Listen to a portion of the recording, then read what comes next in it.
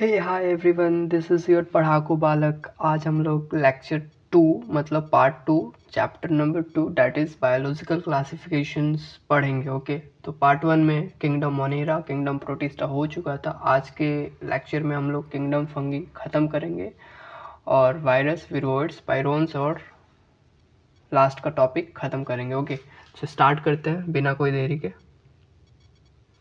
Just एक second please okay हाँ। तो पहला किंगडम है, पहला नहीं, तीसरा किंगडम है। और हाँ एक बात बतानी थी थोड़ा सा पेशेंस रखिएगा किंगडम फंगी बहुत इंपॉर्टेंट है नीट पॉइंट ऑफ़ व्यू से ओके तो किंगडम फंगी पहला तो आप याद रखिएगा हेट्रोट्रॉपिक ऑर्गेनिज्म है हेट्रोट्रॉपिक और ईस्ट ब्रेड और बियर अकॉर्डिंग टू एन और रस्ट में प्यूचीनिया याद रखना है आपको। एक यूनिसेलुलर है? फंगीज और फिलामेंटस जितने भी फंगीज हैं, सारे फिलामेंटस है बट ईस्ट जो है फिलामेंटस नहीं है, ये एक इंपॉर्टेंट बात है। सॉरी, एक सेकेंड बस।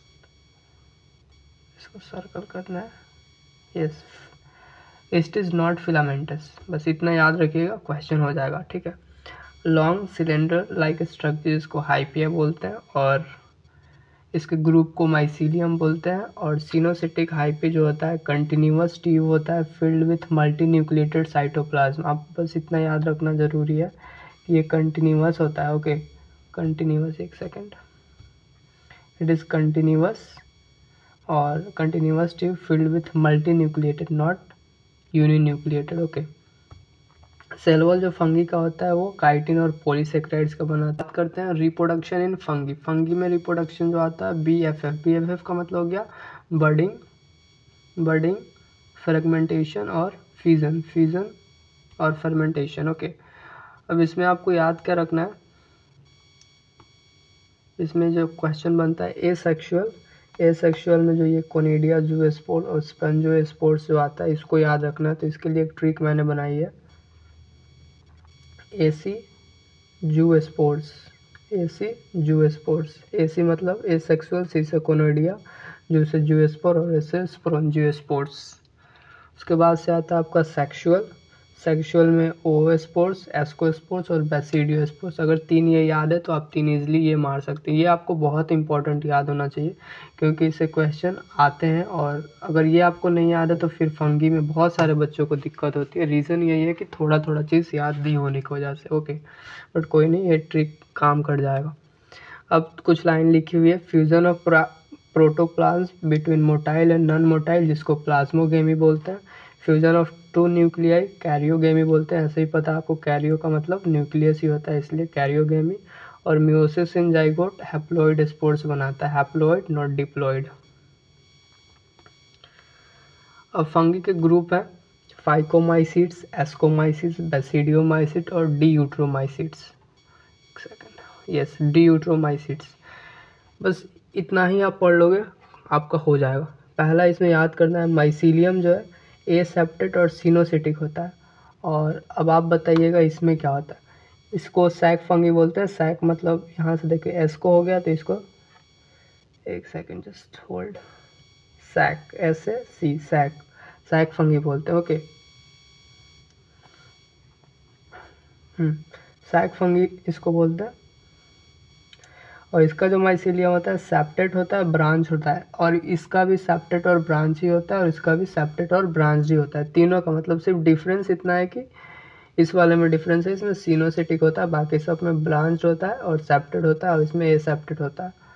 अब हो गया यहाँ ए सेक्शुअल में आइए इसमें जो ए सेक्शुअल जो स्पोर्ट्स होता है, उसमें, इसमें जू स्पोर्ट्स होता है और जू स्पोर्ट्स मोटाइल होता है और एप्लेनो स्पोर्ट्स होता है, जो नॉन मोटाइल होता है। इसमें कोनिडिया होता है, जो एक्जोजीनस होता है, ये याद रखना पड़ेगा एक्जोजीनस और एंडोजीनस। एक्जोजीनस होता है और इसको स्पोर्ट्स भी होता है, जो एंडोजीनस होता है। इसमें भी एंडोजीनस है, एंडोजीनस और इसमें देखिए, सेप्टेट और ब्रांच मैंने पहले ही बताया था और इनको तीनों में बोलते हैं मशरूम, ब्रैकेट फंगी और पफ बॉल्स।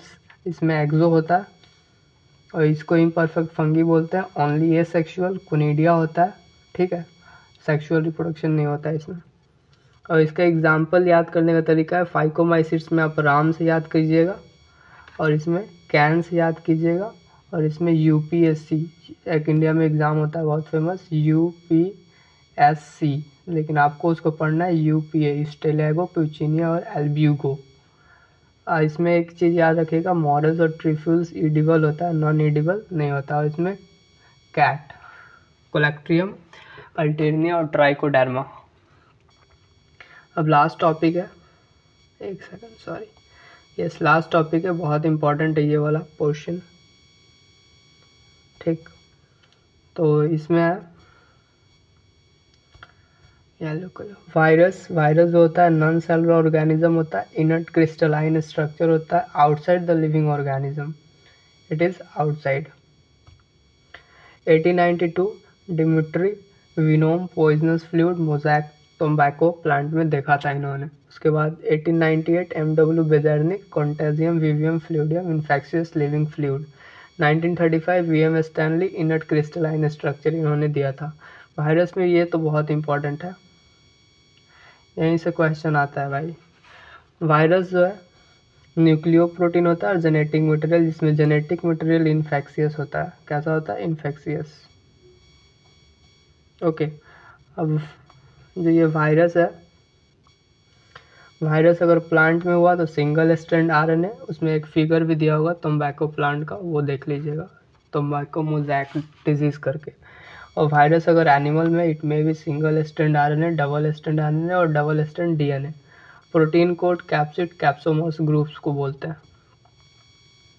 विरवर्ड्स में आपको याद रखना है। एक सेकंड बस पेन की कलर चेंज विरवर्ड्स में आपको याद करना है 1971 टीओ डैनियर स्मॉलर होते हैं ये लोग, और ये डिज़ीज़ करते हैं potato spindle tuber disease free RNA होता है इसमें लैक प्रोटीन कोट और लो मोलिकुलर वेट होता है okay low molecular weight lack protein coat free RNA potato spindle tuber disease smaller होते हैं 1971 टीओ डैनियर बस इतना याद रखना है आपको बस। इसमें देखिए पायरोन्स में एबनॉर्मल फोल्डेड प्रोटीन आप विश्वास नहीं करेंगे 2019 के क्वेश्चन में सिर्फ़ एक वर्ड था एबनॉर्मल फोल्डेड प्रोटीन और बताना था कौन सा था। आंसर बस पॉइंट वाइज आपको याद है तो आप ले लोगे, कोई इशू बात नहीं है, ठीक ना? लेकिन आप सोचोगे ना कि ये चीज़ नोट्स से क्या होगा, लेकिन बहुत एग्ज़ाम के टाइम बहुत बेनिफिशियल है, बहुत बेनिफिशियल दूसरा पॉइंट है सिमिलर इन साइज़ होता है। Similar in size in case किससे कंपेयर किया? वायरस से। Okay okay. और ये बी एस सी कैटल में होता है और सी जी डी ह्यूमन्स में होता है। सीआर का full form CR Jakob disease अब बता है लाइचेंस लाइचेंस में एल्गी और फंगी का कॉम्बिनेशन होता है। फंगी को माइको बायोवेंट बोलते हैं फाइको बायोवेंट लाइकेंस जो होता है गुड इंडिकेटर होता है। डू नॉट ग्रो यहाँ लिखा हुआ है do not grow in polluted area इस तरीके से ये चैप्टर ख़त्म होता है। आई होप सो कि आपको वीडियो अच्छी लगी हो। अगर अच्छी लगी हो please give you subscribe and thank you